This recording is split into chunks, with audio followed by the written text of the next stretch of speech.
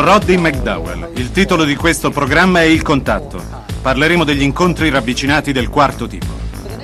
Nei prossimi 60 minuti ci addentreremo nel mondo degli UFO e dell'ignoto e saremo costretti a porci molte domande su un fenomeno che oggi sta acquistando una dimensione sempre più inquietante.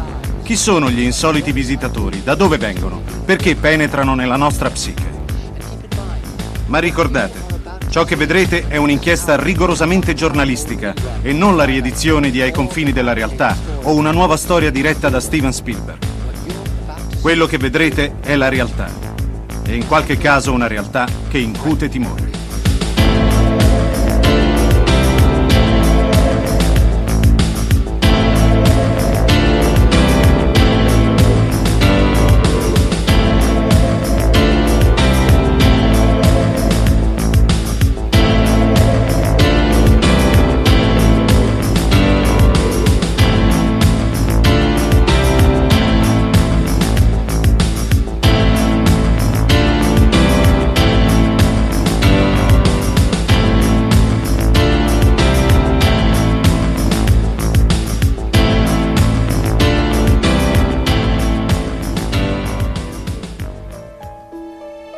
Gulf Breeze, Florida, 1987. Ed Walters esce dalla sua casa e scopre l'incredibile. Un UFO ondeggia silenzioso in una notte senza luna. La macchina fotografica fa il resto. Nei mesi successivi e dopo altri 20 avvistamenti, Ed Walters accumula una sensazionale raccolta di foto e di video sugli UFO. Non le solite fotografie poco chiare e indistinte, no, qualcosa di molto diverso. Ed Walters non è stato l'unico cittadino di Gulf Breeze a osservare gli insoliti fenomeni. Molti altri a Gulf Breeze hanno ammesso di avere visto l'enorme oggetto brillante. E dato che i testimoni sono così numerosi, sembrerebbe che la piccola comunità sia stata interessata da qualcosa che non appartiene a questo mondo. Ma sarà vero? Qualunque cosa sia, perché mai avremmo dovuto giocarci la nostra credibilità su un qualcosa che non sia sicuro al 100%? Viviamo qui, lavoriamo qui. Perché questa comunità, la gente, gli esponenti più importanti della città dovrebbero mettere a repentaglio la propria reputazione se non fossero assolutamente sicuri? Non ha senso.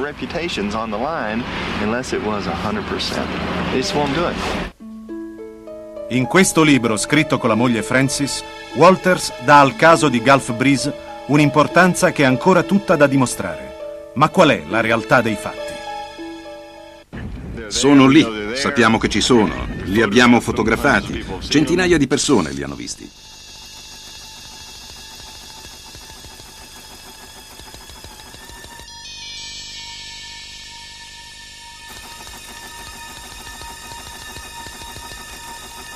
La validità di una prova fotografica è data soprattutto dalla credibilità del suo autore. Il caso di Edward Meyer, ad esempio, è illuminante. Le sue istantanee sono le più straordinarie mai realizzate, ma su di loro grava il sospetto che si tratti di un falso davvero ben orchestrato. Le foto che vedete sono state scattate in Svizzera a partire dal 1975, dopo un presunto contatto fra Meyer ed una delegazione di alieni provenienti dalle Pleiadi. Il caso Meyer è ancora aperto. Ma andiamo con ordine. Nel caso di avvistamento di un UFO, un buon punto di partenza potrebbe essere quello di contattare il MUFON, Mutual UFO Network, se si vive negli Stati Uniti, o comunque un'organizzazione che conduce serie indagini sui rapporti degli avvistamenti di UFO. Quando leggo sui quotidiani locali, ad esempio della contea di Los Angeles, che qualcuno ha avvistato un UFO, penso sia interessante andare a dare un'occhiata più accurata per vedere se ci sono domande che il giornalista non ha posto. Contatto quindi la persona e porto avanti la mia inchiesta personale. Alcuni casi però si rivelano assai complicati e le indagini comportano un enorme dispendio di tempo. Solitamente le indagini sugli avvistamenti di oggetti nel cielo non portano via più di un giorno o due. Mentre se ci troviamo di fronte a casi di rapimento da parte di alieni, le indagini possono richiedere diversi mesi per fare ciò che è necessario, come le sedute di regressione ipnotica e la verifica di tutti gli indizi. Se poi gli investigatori possono contare su testimoni che producano delle prove fotografiche, dovranno necessariamente ricorrere ad un esperto per verificare se le immagini sono davvero autentiche. Esistono dei casi in cui, guardando una fotografia ad occhio nudo, non è possibile estrapolare tutte le informazioni perché non c'è sufficiente contrasto o cose del genere. Ma ad un attento esame i risultati sono diversi. Si può notare, ad esempio, se sulla pellicola è presente una linea molto sottile che spesso è impossibile notare a prima vista o superficialmente. Ma se si inclina la pellicola e la si fa ruotare da una parte e dall'altra, allora la linea viene evidenziata e non c'è bisogno di macchine sofisticate per stabilire la veridicità dell'immagine. Ad esempio, date un'occhiata a questi oggetti volanti alieni che circondano questo edificio. Capovolgendo la foto, vi accorgerete che si tratta solamente di oggetti che si trovano su un fiume, che riflette l'immagine dell'edificio stesso. E questa foto, presa dal passeggero di un treno, mostra forse una massiccia invasione aliena? No, si tratta solo delle luci della carrozza riflesse sul finestrino del treno. Ma ecco qualcosa che non è altrettanto facile spiegare. Questa è una famosa foto di UFO scattata da Paul Trent in Oregon in presenza della moglie. Mi pare fosse il 1950. Ci sono due immagini. Questa a sinistra mostra il fondo dell'oggetto, mentre quella di destra ne fa vedere il lato e rivela anche che il velivolo si sta spostando verso ovest. Il primo passo della ricerca consiste nello scoprire se c'è qualche trucco. Queste linee che si vedono qui sono cavi elettrici che vanno dalla casa al garage. Il garage è questo e la casa non si può vedere, è appena fuori dalla foto. Si potrebbe supporre che qualcuno abbia costruito un modellino e con un sistema di fili lo abbia legato ai cavi della luce e l'abbia successivamente fotografato. Per analizzare una foto del genere è necessario utilizzare un'apparecchiatura elaborata. Per fortuna abbiamo avuto a disposizione il negativo originale. Abbiamo analizzato accuratamente al computer la porzione di foto compresa tra l'oggetto e i cavi elettrici. Non abbiamo riscontrato anomalie che facessero pensare a un trucco. Al contrario, abbiamo constatato che la foto è assolutamente autentica e quindi abbiamo concluso che l'oggetto è reale.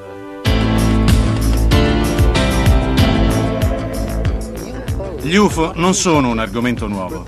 I rapporti su strani oggetti volanti risalgono fino agli albori della storia dell'umanità. Fu solo a partire dagli anni 60, tuttavia, che iniziarono a circolare racconti su rapimenti da parte di alieni. Uno dei più noti è quello di Barney e Betty Hill. I coniugi Hill, nel 1961, ebbero un incontro ravvicinato mentre stavano tornando alla loro casa nel New Hampshire. Li colpì un blackout di memoria. Fu solo in seguito, attraverso una serie di sedute ipnotiche, che essi dissero di essere saliti a bordo di un'astronave. Da allora in poi migliaia di persone hanno raccontato avvenimenti e storie simili, storie come quella di Diana Dubey. Sono nata con un difetto congenito al cuore. Era come se il mio cuore fosse il doppio del normale, il ventricolo destro era più grande del sinistro, il che mi causava anche forti dolori al petto. Due miei parenti sono morti a causa della stessa malformazione. Il mio futuro non appariva roseo. Mi avevano detto che sarei stata fortunata se fossi riuscita ad arrivare fino a vent'anni. Quando avevo circa 12 anni fui sottoposta a tutta una serie di test medici per vedere se era possibile fare qualcosa per il mio cuore. Proprio in quel periodo, una notte, mi svegliai e vidi qualcuno davanti a me, un essere alto e di aspetto androgeno. Mi disse di non avere paura e che avrebbe cercato di guarire il mio cuore. Mise la sua mano sul mio petto e sentii la pressione esercitata. Il giorno dopo mi recai in ospedale per continuare la serie dei miei test. Il dolore era diminuito e i medici mi dissero che il mio cuore era tornato di forma praticamente normale, in un modo che la scienza ufficiale non riuscì a spiegare.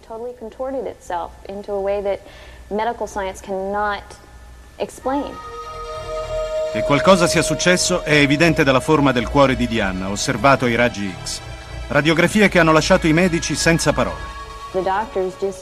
I medici erano lì, guardavano increduli. Uno di loro disse che nel mio corpo ora batteva un cuore completamente diverso. Non capivano cosa fosse accaduto e sicuramente non lo seppero neppure spiegare. Diana ha compreso che strano e fortunato incontro sia stato il suo, ma non è altrettanto facile capire perché proprio lei e non qualcun altro. Sono molto vicina a tutte le persone che soffrono e che forse in questo momento mi stanno guardando. Uomini e donne che pregano perché accada qualcosa che li salvi. Io non so perché sono stata così fortunata. Posso solo essere grata a chi o a che cosa nell'universo mi ha salvata e vorrei che tutti potessero essere fortunati come lo sono stata io. Certamente uno dei casi più interessanti di rapimenti da parte di alieni è quello di Betty Andreasson. La vicenda di Betty, come molti altri casi analoghi, iniziò con il solo ricordo di una strana luce nel cielo. Ho solo qualche ricordo conscio dei fatti accaduti nel 1967. Un giorno lessi un articolo del dottor Joseph Allen Hynek in cui venivano richieste informazioni di prima mano sugli UFO. Pensai che le strane luci che avevo visto forse erano in relazione con gli UFO. A quell'epoca sapevo molto poco sull'argomento. Cosa accadde a Betty venne alla luce attraverso una lunga serie di regressioni ipnotiche. Fu attraverso tali sedute che Betty iniziò a scoprire di essere stata contattata da esseri alieni nel corso di tutta la sua infanzia. Questo accadeva quando avevo circa 13 anni a Westminster, Massachusetts, nel cortile della mia casa. Stavo andando a giocare nel bosco e stavo salendo la scala che mio padre aveva costruito, quando guardando sulla destra vidi un oggetto che sembrava quasi una luna, che stava diventando sempre più grande e che si avvicinava sempre di più. Di questo incontro non avevo la benché minima consapevolezza. In seguito, attraverso l'ipnosi, ho scoperto che ero stata catturata da una nave aliena. Quella non fu la fine dell'esperienza di Betty con le entità aliene. 17 anni più tardi gli esseri tornarono. Questa volta andarono a cercarla a casa sua. Mi dissero che avevano bisogno della conoscenza venuta dal fuoco e l'unica cosa che sono riuscita a pensare fu che la conoscenza venuta dal fuoco fosse la Bibbia. Entrammo allora in salotto e vidi mia madre e i miei bambini che stavano lì in stato di animazione sospesa.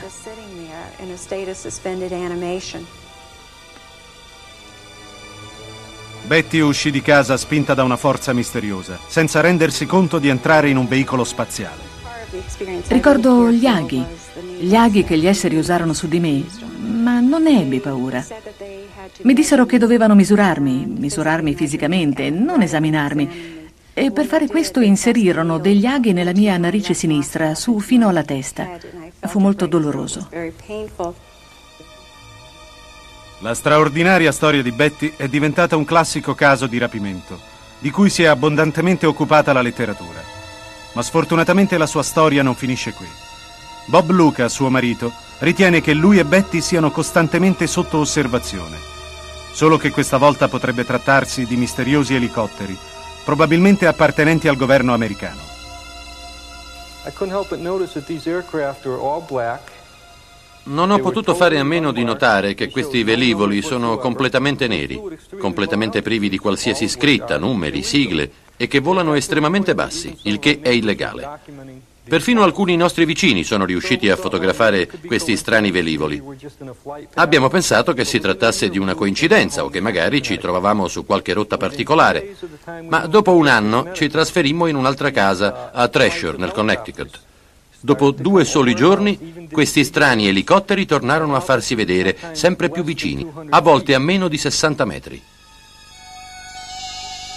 Veniamo al caso di Travis Walton, 1975, Snowflake, Arizona. Sei testimoni giurarono di averlo visto trasportare a bordo di un oggetto luminoso. Furono accusati del suo omicidio, sin quando la verità non venne a galla. Ma sentiamo la testimonianza di Travis Walton, vittima del rapimento.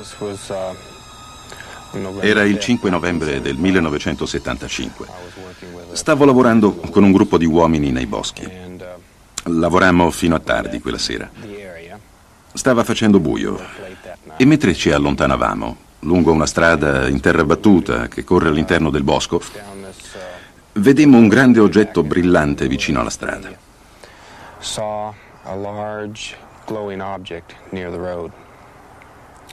Fermammo il camion. Io scesi giù e mi avvicinai per dare un'occhiata. Pensavo che l'oggetto sarebbe sparito da un momento all'altro. Così mi avvicinai di corsa per vederlo bene. Ma non se ne andò. Iniziò a muoversi e ad emettere un suono forte. Così mi nascosi dietro un tronco. Decisi quindi di andarmene. Ma in quell'istante sentii un torpore in tutto il corpo e svenni. E gli uomini nel camion raccontarono di aver visto uscire dal velivolo un raggio luminoso che mi colpì nella parte superiore del corpo e mi sollevò in aria.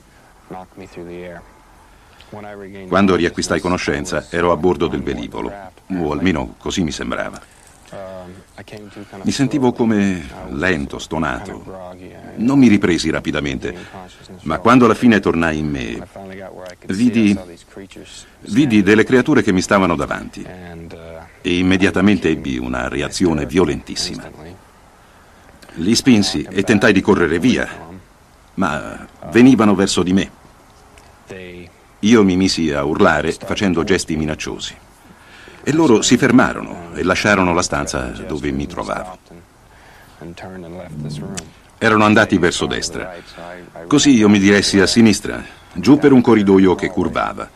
Oltrepassai delle altre porte e arrivai davanti a un'altra porta.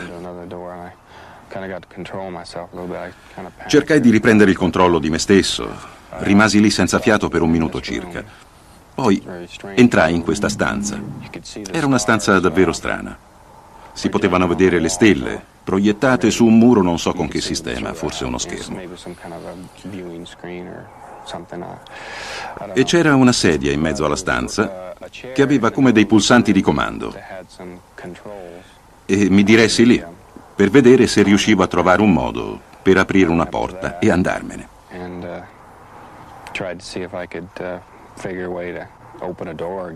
A quel punto entrò un altro essere, un uomo.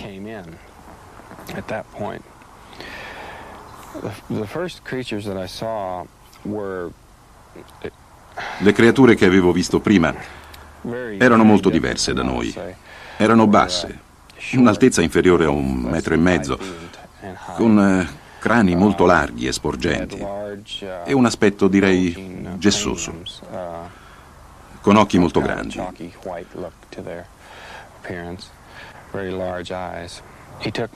L'uomo mi scortò attraverso un corridoio fino a un'altra stanza, più piccola, dove c'erano altri esseri umani come lui.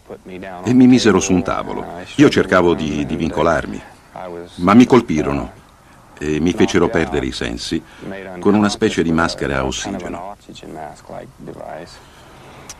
Dopodiché mi ritrovai sulla strada. on the road. The Il fenomeno UFO è complesso e profondo. Interessa l'uomo comune, ma interessa soprattutto molti ricercatori nei vari campi della scienza che studiano le possibili soluzioni a questo grande enigma planetario. Qui con me sono presenti cinque importanti esperti americani di ufologia, ognuno di essi con la propria specializzazione. William Moore, direttore del Fair Witness Project, un ufficio investigativo privato specializzato nello studio degli avvistamenti in Nord America. Moore è anche l'autore del bestseller Accadde a Roswell, la prima inchiesta sull'incidente che occorse a uno scafo alieno nel deserto del New Mexico nel 1947. Il dottor Frank Stranges è uno dei fondatori del Comitato Investigativo Nazionale sugli UFO. Il dottor Stranges studia questi fenomeni da quasi 40 anni, raccogliendo testimonianze in tutto il mondo. Vicky Cooper è la direttrice di UFO, una rivista bimestrale interamente dedicata all'argomento degli oggetti volanti non identificati. La rivista è al suo terzo anno di pubblicazione e rimane un importante punto di riferimento. Il dottor Richard Haynes è un ex dipendente governativo della NASA ed è membro del National Board for the Fund for UFO Research. Il dottor Haynes è anche l'autore di numerosi libri sul fenomeno UFO. Ed Conroy è un giornalista del San Antonio Express News. Ha scritto il suo libro Rapporto su Communion, che analizza la straordinaria vicenda di Whitley Strieber, del quale ci occuperemo più avanti, e di altri casi di rapimento. Che impatto ha avuto il libro Communion sull'opinione pubblica accostando UFO e rapimenti?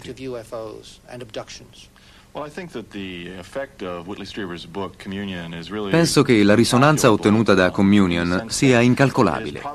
A mio parere, probabilmente ha avuto più influenza sui lettori di qualsiasi altra analoga pubblicazione. Lo testimoniano più di due milioni di copie vendute negli Stati Uniti. Continua ad essere un bestseller, ma l'aspetto più significativo è che il libro ha spinto la gente a parlare dell'argomento. Ritengo che il lavoro di Strieber, vista la fama e l'attendibilità dello scrittore, abbia accresciuto il peso della questione sui rapimenti. In sostanza, Strieber ha infranto la barriera dell'incredulità della gente. Dottor Stranges, come mai negli ultimi anni i rapporti sui rapimenti sono aumentati? Ritengo che i media abbiano affrontato seriamente l'argomento, forse per la prima volta, oltre al fatto che migliaia di persone di ogni livello sociale hanno asserito di essere stati rapiti. Se questo è vero, il governo degli Stati Uniti ha il dovere di garantire alla nazione una ricerca scientifica seria e rigorosa, al fine di scoprire con esattezza quello che sta accadendo. Dottor Haynes, lei ha svolto numerose indagini sui casi di rapimento. Esiste un modo migliore per condurre queste indagini? Sì, penso che esista. Sgombrare il campo da quelle persone che svolgono questo genere di ricerche senza alcuna base o preparazione, cioè per così dire gli autodidatti perché non comprendono i danni che si possono causare. Vengono presi sul serio? Purtroppo sì. Tutti coloro che hanno provato un'esperienza del genere sono quasi sempre in condizioni drammatiche e si aggrappano a qualsiasi genere di aiuto. Le presunte vittime dei rapimenti presentano nella maggioranza dei casi gli stessi sintomi. Ai vuoti di memoria si accompagnano spesso shock consistenti. La comprensione e l'accettazione delle esperienze rivissute in regressione ipnotica sono sempre traumatiche. Si tratta di esperienze generalmente sgradevoli, durante le quali gli individui ricordano di essere stati sottoposti a controlli che lasciano tracce psichiche. Le zone d'ombra che l'ipnosi regressiva riesce a evidenziare sembrano essere sotto il controllo degli alieni o di chi perpetra queste intrusioni. Naturalmente esistono casi di allucinazione che però non possono essere collegati direttamente al fenomeno UFO. Come nel caso dei coniugi Hill, che sottoposti a regressione separatamente confermarono l'identico racconto.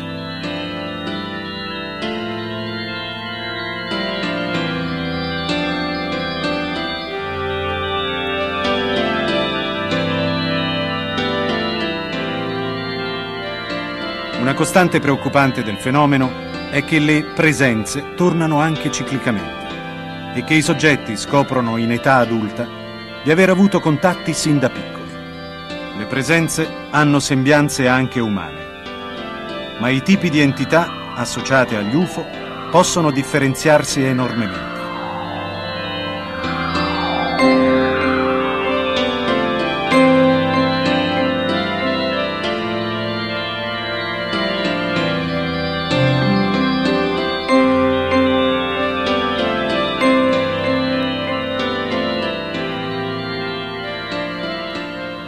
Tipo più diffuso è quello dei grigi, individui piccoli, glabri e ben poco umani. Signor Moore, cosa l'ha spinto ad occuparsi del fenomeno UFO? Ho iniziato a interessarmi di UFO negli anni 50, quando ero ancora studente, e ho mantenuto questo interesse dopo aver terminato le scuole superiori a metà degli anni 60, quando mi occupai di alcuni fatti accaduti nello stato di New York, dove lavoravo allora. E mi sono dedicato a scoprire quello che sa il governo degli Stati Uniti sull'argomento.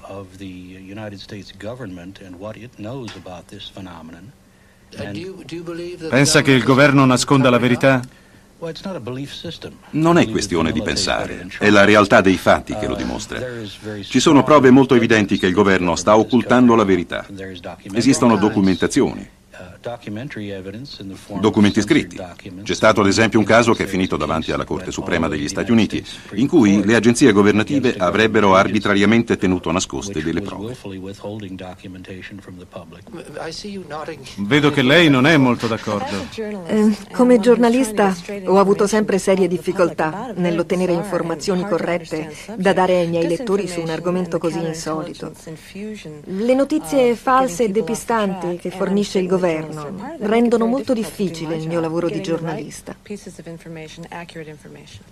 Ritiene che questo problema riguardi solo il nostro paese? Sono assolutamente certa che questo atteggiamento sia universale e penso anche che siano coinvolti giochi politici per il controllo della situazione. Dottor Haynes, lei ritiene che questi esseri stiano cercando di avere dei contatti specifici con qualcuno di noi in particolare? Non sono ancora convinto che noi siamo stati visitati, non ne sono certo. Sto valutando gli eventi cercando di giungere a una conclusione appropriata, ma penso che questa sia un'affermazione prematura. Non ha trovato prove determinanti? No, almeno per quanto mi riguarda. Tuttavia, citando l'astrofisico Carl Sagan, esistono bilioni e bilioni di pianeti e sistemi planetari in grado di ospitare la vita. Miss Cooper, può raccontarci brevemente il retroscena dell'incidente di Roswell? Cercherò, ma Bill è l'esperto del caso.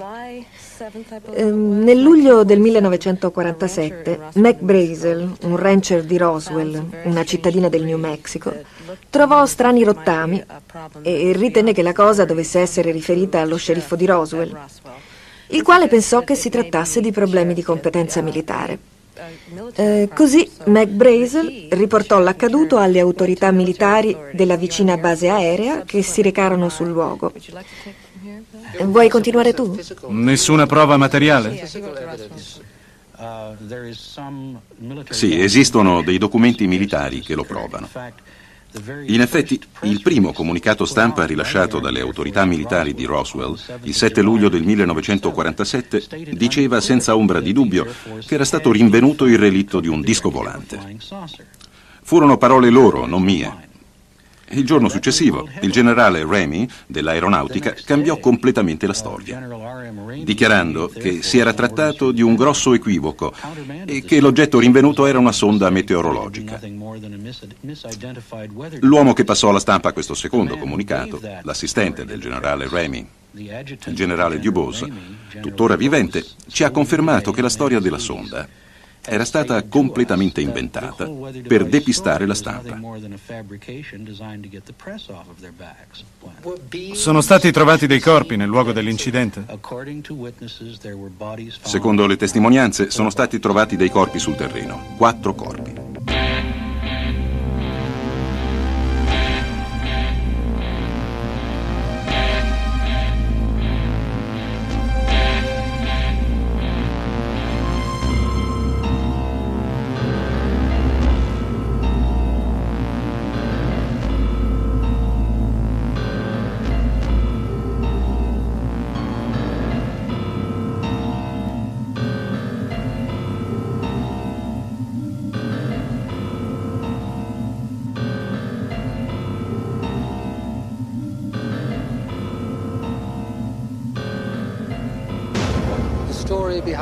La storia di Whitley Strieber, raccontata nel libro Communion, è allo stesso tempo paurosa e interessante. Tuttavia, quello che molti non hanno ancora compreso è che la zona dove si trova lo chalet di Strieber è stata per anni un punto cruciale negli avvistamenti di UFO. Il dottor Allen Hynek, uno dei più importanti esperti sul fenomeno UFO, ha indagato personalmente su questo caso insieme a me.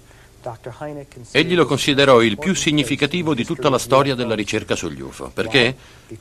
Perché ci sono stati così tanti testimoni attendibili.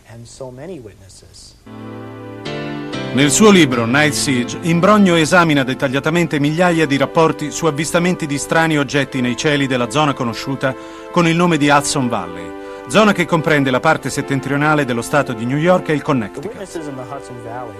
Le testimonianze raccolte nella Hudson Valley confermano che negli ultimi cinque anni sono stati osservati molto chiaramente degli oggetti volanti, talvolta a forma di boomerang, altre volte circolari, le cui dimensioni erano quelle di un campo di football e forse più grandi. Un testimone oculare ha fornito al professor Heineck ben più di una descrizione verbale. Questo video fu girato il 24 luglio del 1984 a Brewster, nello stato di New York, alle 22.15. Ecco, qui l'oggetto appare nascosto da un albero e la telecamera non riesce a mettere a fuoco. Come si può notare, l'oggetto riappare come circondato da numerose luci. Gli avvistamenti della Hudson Valley continuano anche nel corso degli anni 90 e certamente uno dei casi più conosciuti e pubblicizzati riguarda lo scrittore Whitley Strieber, la cui casa di campagna nello stato di New York per diverso tempo è stata teatro di un'impressionante sequenza di contatti.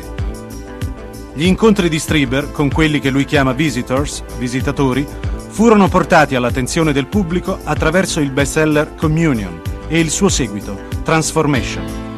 Le copertine di entrambi i libri ritraggono dei volti diventati ormai familiari. Quel tipo di fisionomia è stata vista molte volte in più parti del mondo. Il volto grigiastro, i grandi occhi scuri. A volte il cranio sembra essere molto grande, come ricorda Betty Anderson. Altre volte il cranio è più piccolo, come nel mio caso, e gli esseri sono più alti. Ma le fattezze principali, quella tipica fisionomia non umana, sembrano ripetersi continuamente negli incontri avvenuti in tutto il mondo. Il dottor John Glidman, uno psicologo di New York, ha curato numerose vittime di rapimenti, fra cui Whitley Strieber. Ritengo che Whitley abbia avuto un'esperienza intensa, complessa ed estremamente inquietante. Cosa sia successo esattamente non so. Come direbbe un computer, dati insufficienti. Il libro Communion non si limita a raccontare dell'incontro fra Strieber e gli alieni.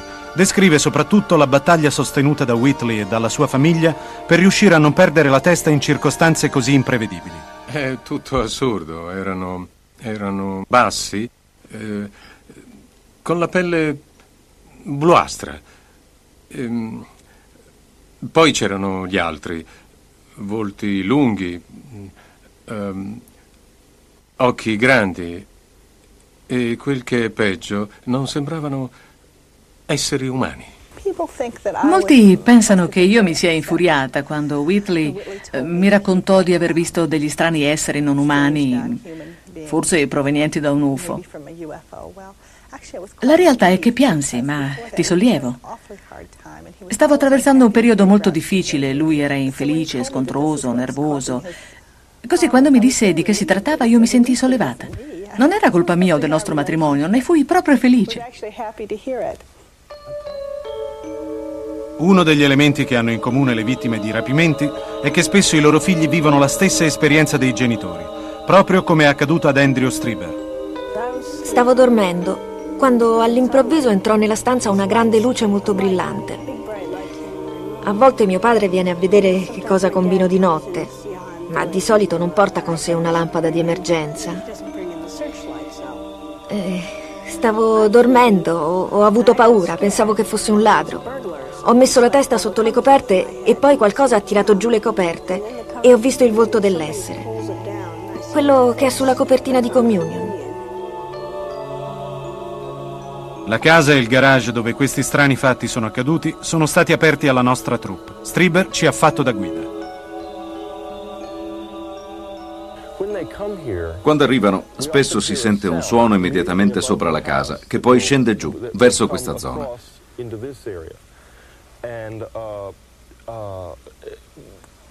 Io stesso e anche altre persone abbiamo visto degli oggetti sospesi sopra questa piattaforma o nel giardino davanti alla casa.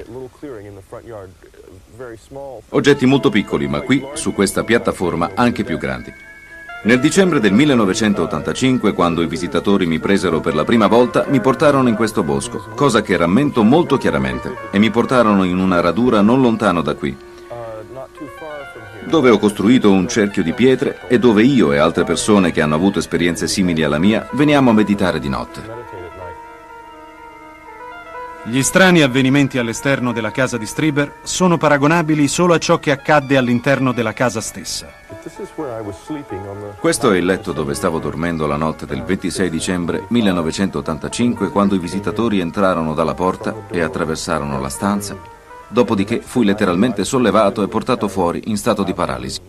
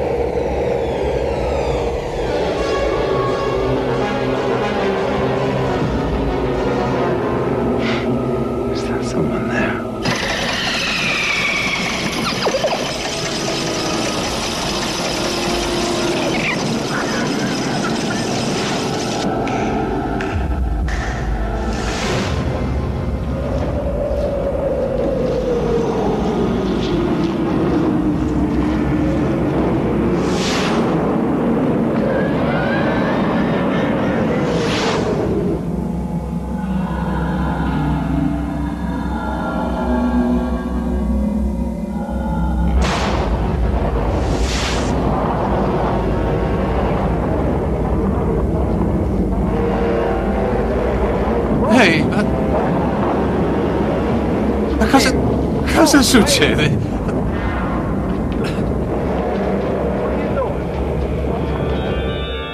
Torniamo all'incontro che ha cambiato la mia vita.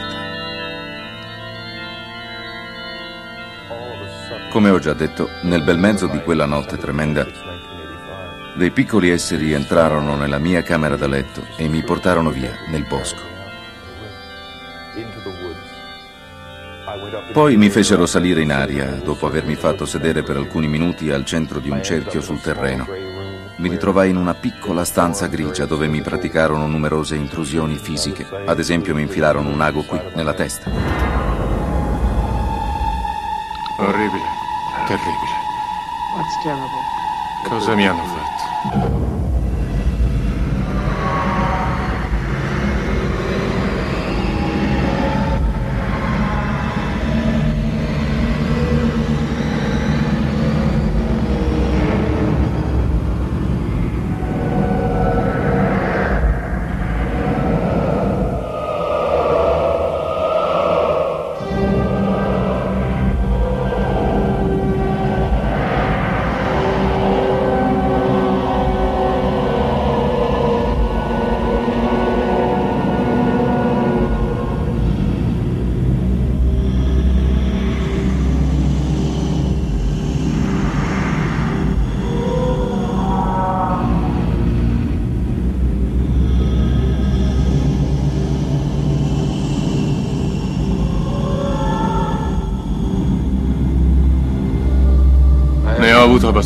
Voglio andare a casa.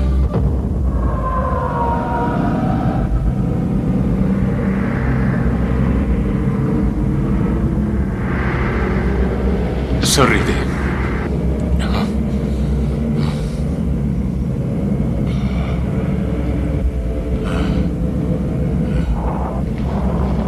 Sei vecchio? Per favore, lasciami sono sveglio? Eccomi qui, sono nudo. Sono nudo. Io ti sto parlando, ma tu mi capisci?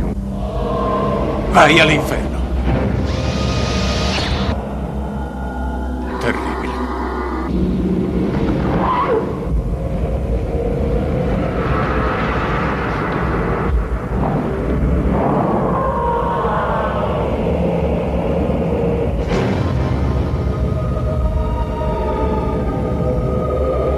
Ho la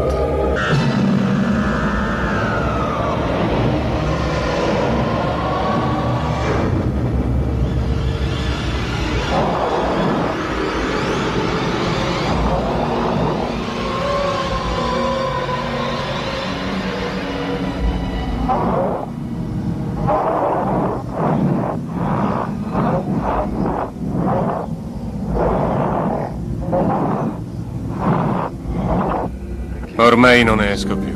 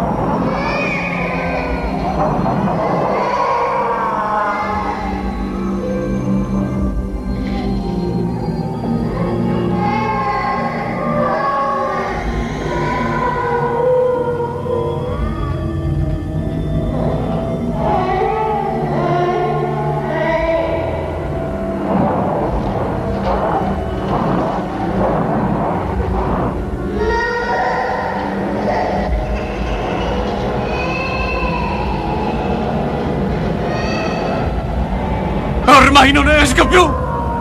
Uno, svegliati. Due, svegliati. Vedo cose del mio passato. What is it, Whit?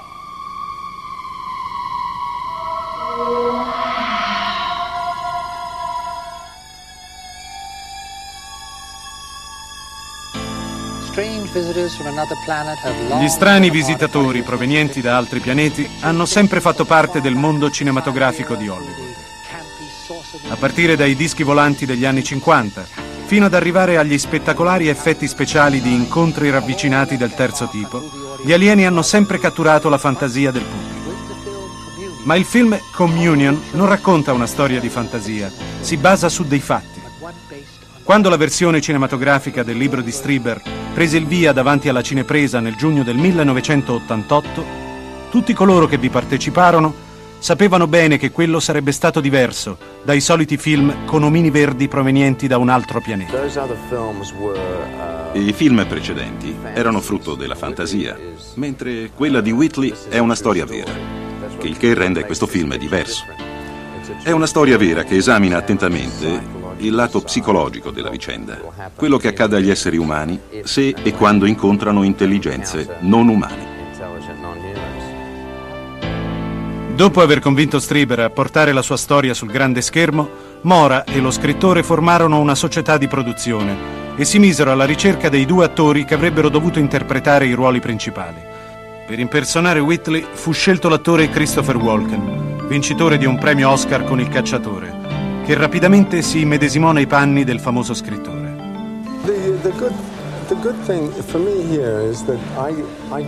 L'aspetto più positivo è che a me piace il mio lavoro. Quando accetto una parte, spero che tutto vada per il meglio. In questo film il mio ruolo è molto creativo, cosa di cui sono grato a Whitley. Il suo atteggiamento è quello di un buon padre premuroso verso i suoi figli. He, you know, he was kind of like a good parent, you know, he let the bird fly. Ci si chiese quindi chi potesse interpretare la parte di Anne, la moglie di Strieber, ruolo importante come quello di Whitley. Il regista scelse Lindsay Crowder, l'attrice che ebbe una nomination all'Oscar per il film Le stagioni del cuore. Uno dei lati più positivi di Glindsay è stato che l'attrice era molto orgogliosa di interpretare il ruolo di una moglie. In altre parole, era contenta di dimostrare che esistono dei valori profondi nel cercare di tenere unita una famiglia, anche quando il marito sta andando decisamente fuori di testa e racconta le storie più incredibili, di essere stato rapito da piccoli esseri alieni. Lei aveva ancora fiducia nel matrimonio e nella famiglia. Devi tornare dalla tua psicanalista. O il nostro matrimonio finirà in pezzi. Eccomi qua, sono seduto. Non vedi? Eccomi qua, non sono pazzo. Le donne. Nella realizzazione del film, Strieber ha curato particolarmente la creazione degli esseri, affinché fossero più simili possibile a quelli che aveva visto. È stato Michael McCracken, incaricato degli effetti speciali, a ricreare gli strani esseri. Whitley aveva disegnato tutta una serie di bozzetti grazie ai quali siamo riusciti a ricreare l'immagine degli extraterrestri in maniera molto accurata, con uno scarto di appena un centimetro per quello che riguarda l'altezza e le proporzioni. Anche i movimenti sono stati studiati con grande attenzione. Il colore della pelle è assai simile a quello che vide Whitley e in nessuno degli esseri il movimento risulta esagerato in termini di espressioni facciali. Gli esseri blu si muovono abbastanza, anche se in modo strano. I volti, Whitley dice che era come se pendessero all'ingiù grazie alla forza di gravità, il che dava loro qualcosa di grintoso. Per gli attori che hanno dovuto interpretare il ruolo di questi esseri, la giornata si è spesso rivelata molto pesante.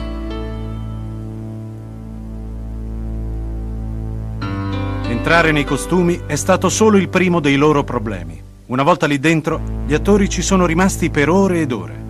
Il tutto in uno studio molto caldo e pieno di fumo, mentre cercavano di rapire gentilmente Christopher Walken dal suo letto. Non è stato proprio facile per questi piccoli attori, scena dopo scena, fino ad arrivare al completamento di questa parte così delicata del film.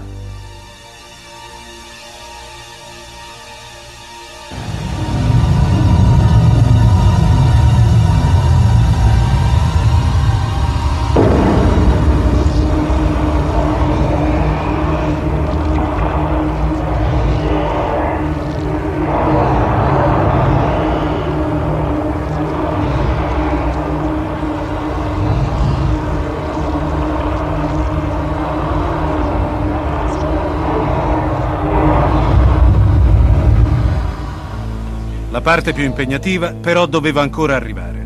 I visitatori più importanti dovevano ancora essere disegnati, poiché sarebbe stato impossibile adattare degli esseri umani al sottile corpo di questi alieni. McCracken ideò un diverso sistema di movimento dei corpi.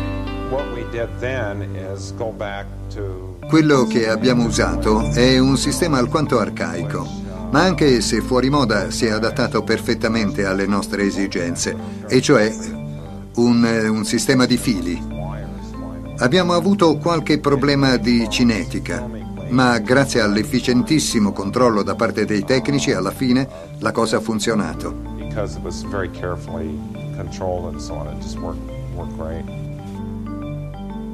Cosa ha pensato Strieber del lavoro di McCracken?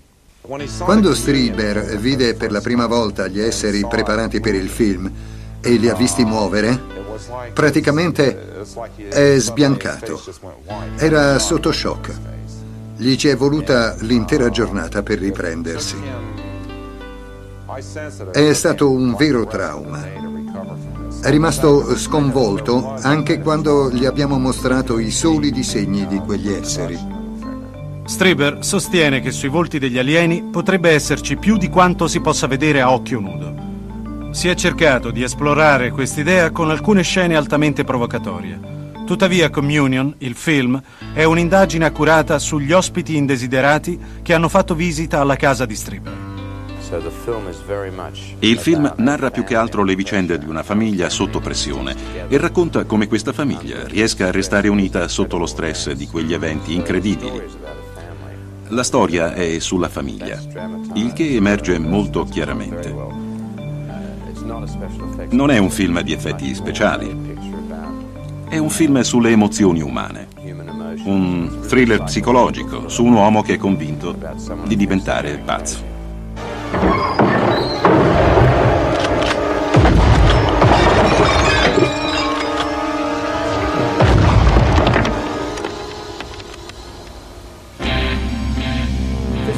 Questo è il divano dove un giornalista stava dormendo una notte del maggio 1988. Quando i visitatori entrarono in questa stanza c'erano altre due persone. Stavano dormendo e sono state svegliate da un rumore forte.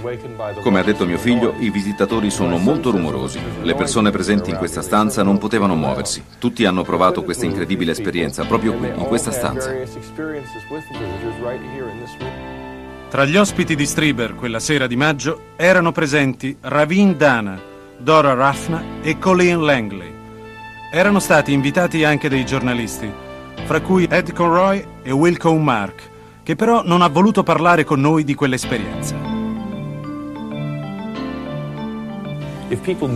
Se la gente sapesse che tipo di esperienza ha avuto quell'uomo, la sua carriera sarebbe completamente rovinata. Non può mettere a repentaglio il proprio lavoro rendendo noto ciò che gli è accaduto. Penso che sia un peccato perché avrebbe avuto cose bellissime da raccontare. Ma gli altri sono disposti a parlare. Eh, Ed stava dormendo su una specie di divano letto ed io mi trovavo accanto a lui. All'improvviso si mise a sedere e mi disse, hai visto o hai sentito? In quel momento eh, quel campo di forza si spezzò ed io potei muovermi. Fino ad allora ero totalmente paralizzata e risposi, "Eh, sì, ho sentito, ho sentito le voci. Il suo racconto coincide con il mio. Anch'io mi sono svegliata sentendo delle voci e dei passi, come se qualcuno si stesse avvicinando al suo letto. Lui era in uno stato di paralisi, non poteva muoversi. Era completamente cosciente e terrorizzato, perché era sicuro che fossero lì, ma non riusciva a vederli. Per scoprire se in questa vicenda ci fosse più di quanto i testimoni potessero coscientemente ricordare, l'ipnotista Fred Max, lo stesso che aveva riportato alla luce i ricordi di Betty Anderson, analizzò sotto ipnosi gli ospiti dello chalet di quel maggio 1988. Eseguo abitualmente regressioni ipnotiche. Visito persone che hanno avuto incontri e che desiderano ricordare eventi passati, accaduti molto tempo fa. Perché tutto quello che è successo è ancora presente nella nostra mente, solo è necessario guidare chi desidera ricordare un dato avvenimento. Subito, all'inizio delle sedute, fu evidente che in quella notte era accaduto molto di più di quanto si potesse immaginare. Dimmi cosa provi. Paura. Perché? Perché c'è qualcosa dietro di me. E non vuole che io mi muova. Vedi qualcos'altro? Vedo un cerchio di pietre. Ok. Che cos'è? Un cerchio di pietre. Come un piccolo Stone Age.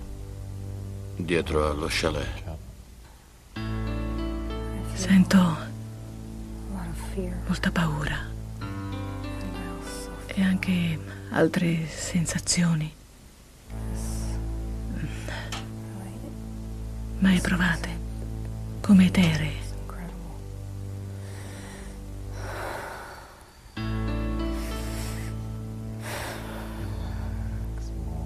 Rilassati. Non avere paura. Rilassati. Calmo, calmo. Pensano di essere stati rapiti. Sono ragionevolmente sicuro che non si siano inventati nulla. E le analogie dei racconti sono impressionanti. Qualcosa di davvero insolito accadde quella notte allo chalet di Strieber. Ma ciò che emerse dalle sedute ipnotiche sembra essere solo la punta dell'iceberg. Fu questa la ragione per cui la troupe televisiva di Il Contatto preparò le telecamere sperando di catturare immagini degli evanescenti visitatori. Quando si svegliarono la mattina dopo, i componenti della troupe furono molto delusi nel constatare che nulla era stato registrato, pur essendo le telecamere rimaste in funzione per tutta la notte, mentre loro stavano dormendo. Gli esseri non si erano fatti vedere, o sì? Un essere molto piccolo, un metro e venti circa, con occhi scuri molto grandi, è entrato dalla finestra. La cosa più interessante è che non ho provato proprio paura.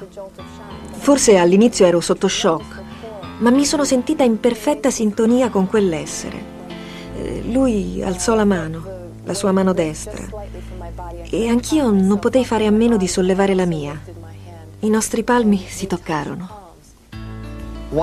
Cos'è accaduto quella notte a casa di Strieber? Un'allucinazione? Un'elaborata macchinazione dello stesso Strieber? Qual è la verità? Molte domande sono senza risposta. Non è un segreto che qualcosa sia accaduto qui quella notte. Ma purtroppo non esistono prove. La pellicola è nera, si sente solo qualche rumore. Cosa posso dire? Solo ognuno di noi personalmente, come essere umano, sa che è successo qualcosa, ma le prove non ci sono. Quello che è accaduto alla famiglia Strieber e a migliaia di altri individui che hanno avuto esperienze simili difficilmente può essere accettato completamente dalla gente comune. Almeno fino a quando gli alieni non saranno pronti a rivelarsi più esplicitamente. Nel frattempo possiamo solo continuare a scrutare il cielo avendo una mente aperta, nell'attesa di una risposta al cruciale interrogativo. Siamo soli? Arrivederci da Roddy McDowell. Good night.